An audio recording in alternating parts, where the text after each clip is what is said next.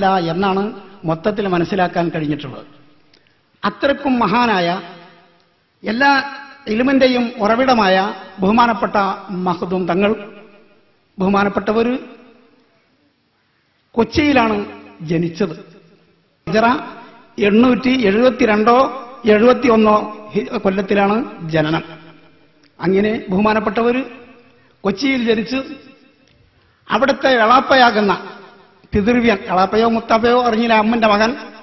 അന്ന് പൊന്നാനി കാതിയായിരുന്നു ബഹുമാനപ്പെട്ടവർ പൊന്നാനിയിലേക്ക് കൊണ്ടുവന്ന് അവിടെ പൊന്നാനി താമസിപ്പിച്ചു.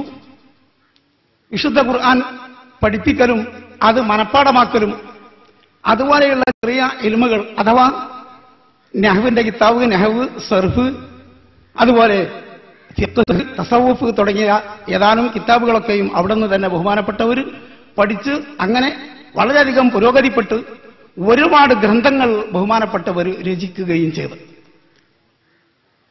മുർഷിദ് തുല്ലാബ് ഇന്ന് മിക്ക പള്ളി ദർസുകളിലും ഓതി ഓതപ്പെടുന്ന ഒരു കിതാബാണ് മുർഷിദ് തുല്ലാബ് ആ മുർഷിദ് തുല്ലാബ് ബഹുമാനപ്പെട്ടവരാണ് എഴുതിയത്.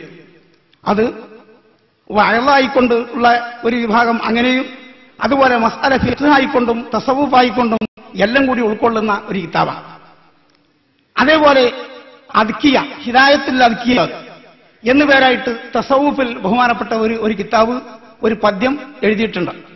അത് തസവൂഫിൽ വളരെ പ്രധാനമായതാണ് ആലിമീങ്ങൾക്കും മുത്താലിമീങ്ങൾക്കും അറിയപ്പെടാതിരിക്കാൻ യാതൊരു സാധ്യതയുമില്ല. അത്രക്കും പ്രചാരത്തിലുള്ള ഒന്നാണ്. മാത്രമല്ല ഇന്ത്യയിലെന്നല്ല ഇന്ത്യയ്ക്ക് പുറത്തുള്ള സൗദിയയിലും അതുപോലെയുള്ള സ്ഥലത്തും അത് പാഠപദ്ധതിയിൽ ഉൾക്കൊള്ളുന്ന സിലബസിൽ അംഗീകരിക്കപ്പെട്ട